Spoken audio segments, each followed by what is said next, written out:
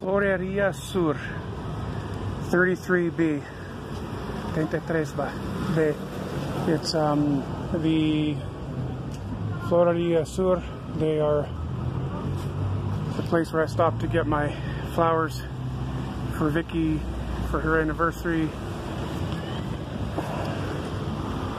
They charged me 280 pesos when it's actually only uh,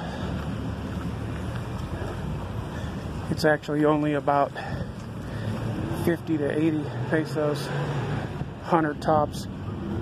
So they ripped me off because I was green-eyed gringo